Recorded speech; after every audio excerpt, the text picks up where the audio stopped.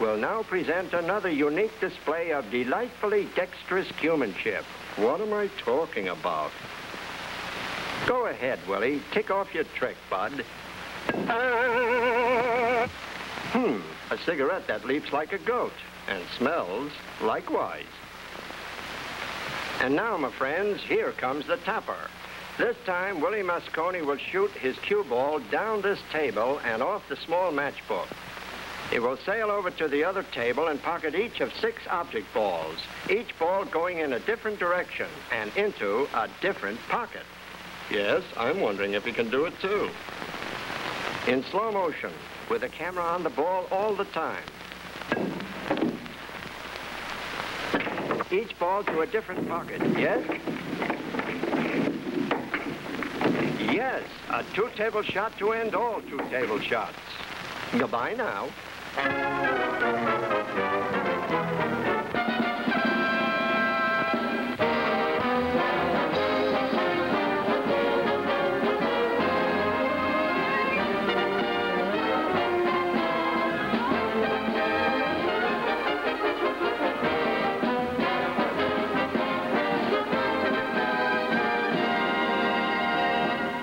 In one of the poorer Philadelphia neighborhoods lived Joe Mosconi.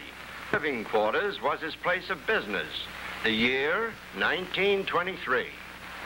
Whenever Joe was out, his son Willie practiced on the pocket billiards table instead of on the violin. The cues and balls were all locked up, but that didn't stop little Willie.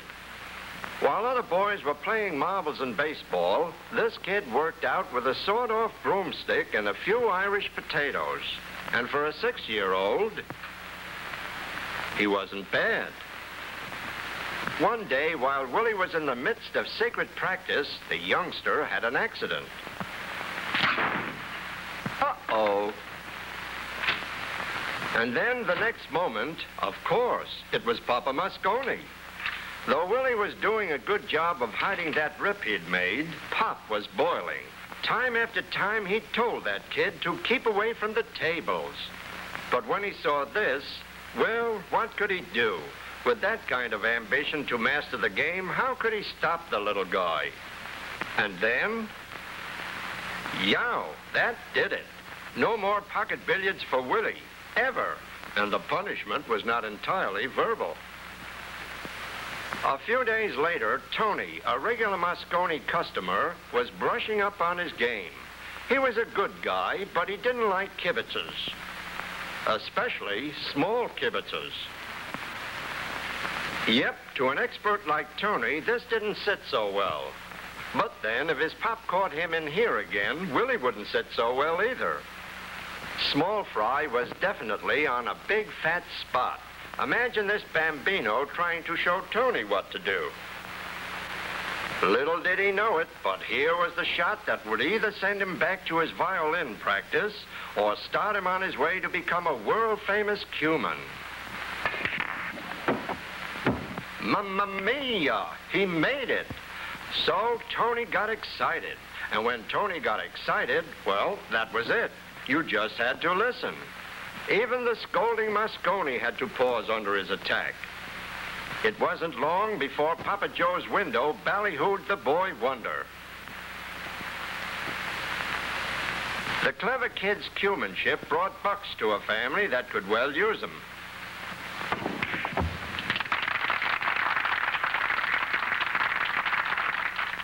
Soon, Willie began to play in local tournaments. Hour after hour, he practiced, practiced, practiced. He loved the game. It was his life. As he grew older, his achievements were reported in sports sections more and more often. He seldom lost. His many amazing victories in other cities over men of much greater experience spread his fame to all parts of the country. Handsome Willie Mosconi became the swooner type. Here, cocky and confident, he was playing against the great Charles Seaback. Contrary to appearances, this was a most vital tournament in Willie's career. As feminine hearts fluttered, Mosconi felt sure of victory. Seaback needed 117 points to win. Willie needed only 26. A miss caused by careless grandstanding gave Seaback his chance, and Mosconi lost a mighty important tournament. But Willie kept trying for the big time, and finally, one day, got a crack at the World's Championship, and lost. Mosconi had learned his lessons the hard way, yet he couldn't cop the crown. For six years, he competed in world championship contests. But for one reason or another, hard luck hounded him every time, just when it looked like he had the title in his grasp. In 1941 came another bid to play for the championship. But after his many flops, Willie was ready to quit and look for a job. After all, he was a married man now, and a baby was on the way. Should he give it just one more try? Heads yes, tails no. Yes, this was it. The championship, or the want ads for Willie. After many, many hours of grueling competition, Willie Mosconi had battled his way to the finals. He had hit his stride. Playing as he had never played before, he was pitted against the world champion and three-time winner of the title, Andrew Ponzi. Here was one of the real greats of his day, the craftiest player in the game. Mosconi's hard luck had left him. He was sinking them right-handed and sinking them left-handed. The fans knew it was Willie's day and that he never felt more confident in his life. And Willie kept going.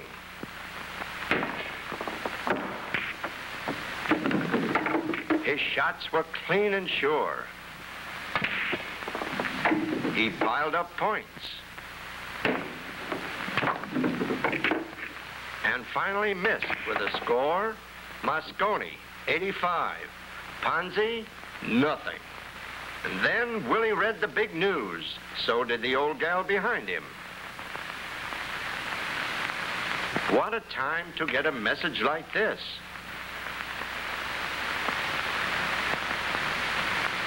Hmm. and Willie only 40 points away from the World's Championship. No wonder the gossip spread like an old girdle. And the contender for the title? Well, gosh, that baby was three weeks early. In the mind of this first-time prospective papa, anything could happen. Yep, and he began seeing things. That eight ball looked three times as big as the pocket. So, he missed. Ouch, and how? A scratch. In a case like this, it can happen to the best. With the passing of silent, tense minutes, the great Ponzi had rallied. Once again, Willie had been close to the championship, but as in preceding years, it looked like close wasn't good enough. Finally, as the nerve-wracking contest drew to a close, Moscamp needed only one point to win and put Willie Mosconi out of the game forever. Here, once again, was a shot that could decide Willie's future.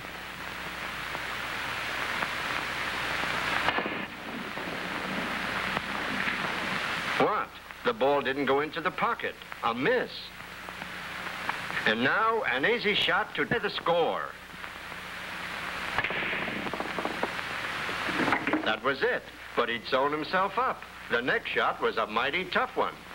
Here, Willie would have to make this ball hit this ball. But that ball was in his way. Yep, it looked like Andrew Ponzi had Mosconi in the bag. Willie would try it this way, hitting five cushions. In order to reach the object ball, and hitting that ball just right, to put it into this pocket. One stroke of the cue could make Willie Mosconi the world champion. Under pressure? Who wouldn't be? What with becoming a papa any minute, plus a five-cushion shot that could make his lifelong dream come true, why, what's this? Oh, no, he wasn't nervous. Well, good news. Yep. In fact, for Willie Mosconi, it was the best possible news that could come to him at this particular moment. It's A, B, O, Y.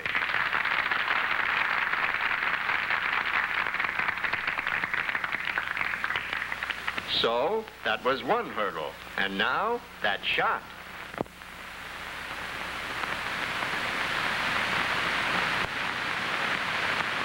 One, two, three, four, five cushions, and... That's it. After a long uphill battle, Willie Mosconi won the World's Championship, a feat he was to repeat many times in years to come. Goodbye now.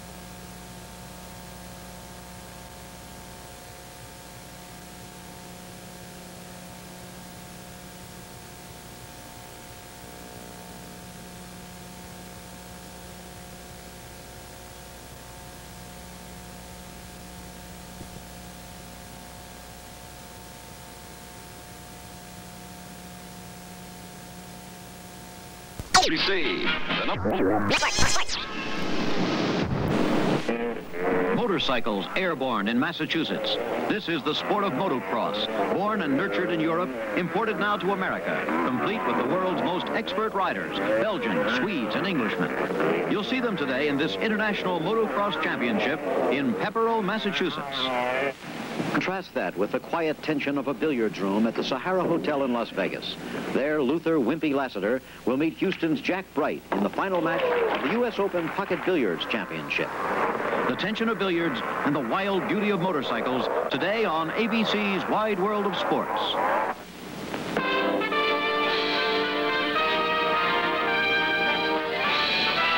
Spanning the globe to bring you the constant variety of sport of victory and the agony of defeat. The human drama of athletic competition.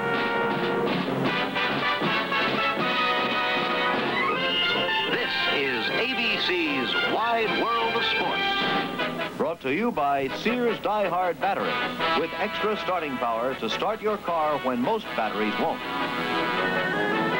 by John Hancock Insurance Company, the growing and changing life insurance company for your growing and changing life. And by the Shell Oil Company, makers of Super Shell, the gasoline for good mileage. Super Shell in the clean white pump, wherever you see the sign.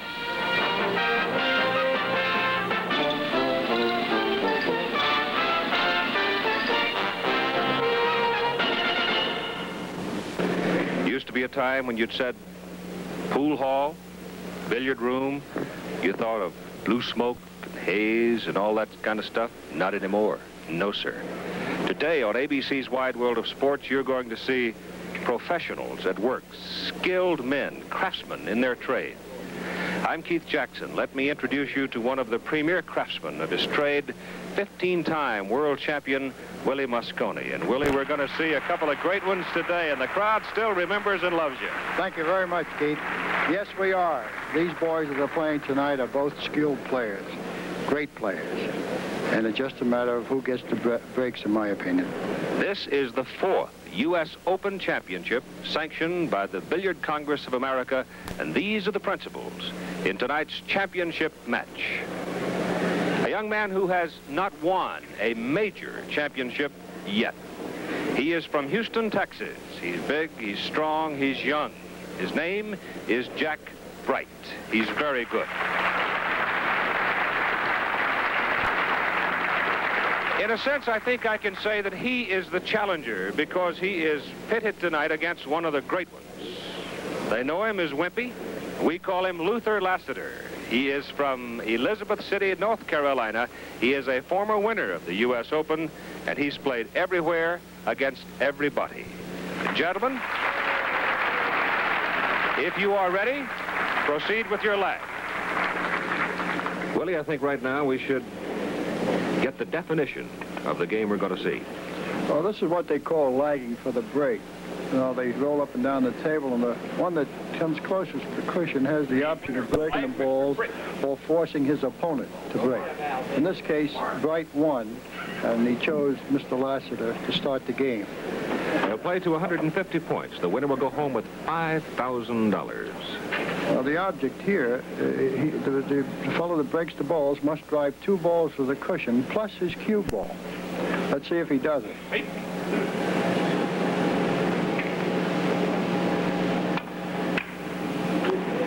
And immediately you see strategy.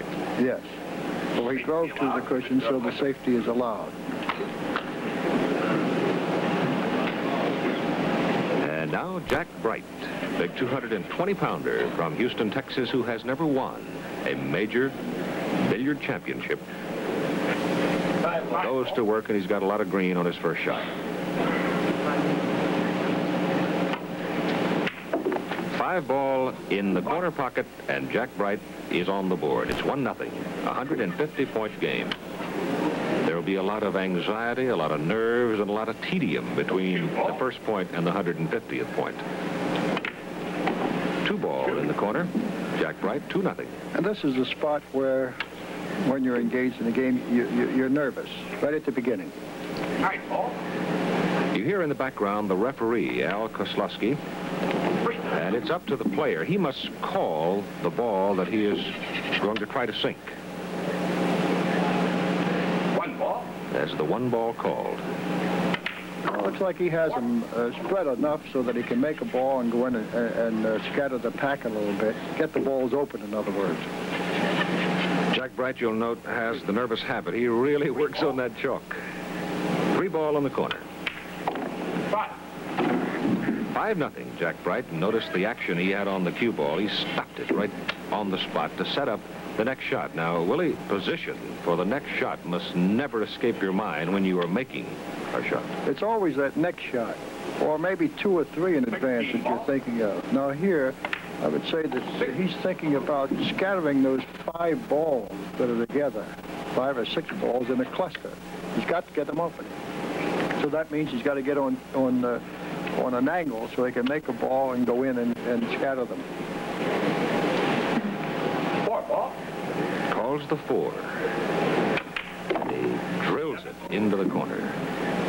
Seven nothing. Jack Breit. Fifteen ball. 15 ball in the side pocket. Notice the position as he draws the cue ball back. Yeah, well, now it looks like he can make the ball and go into the pack and open them a little bit. And Wimpy Lassiter waiting his turn. Patience is a great ally in this game. Nine. 9 nothing. Jack Breit. Those balls are not not opening too well for Breit. Seven ball. As you can see, those balls are still clustered there. He's got to get them open.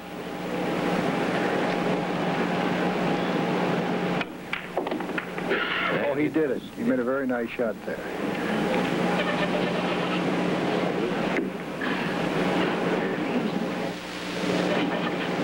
Sahara Hotel. Big crowd. Very quiet. I would guess that those two balls over on the cushion will be his, one of them will be his break ball, and the other one will be the one he, he try to get position on to get position on the break. He sinks the eight ball to make it 11 to nothing. Jack Breit leads. Wimpy Lassiter yet to shoot. 10 ball in the side pocket. Twelve.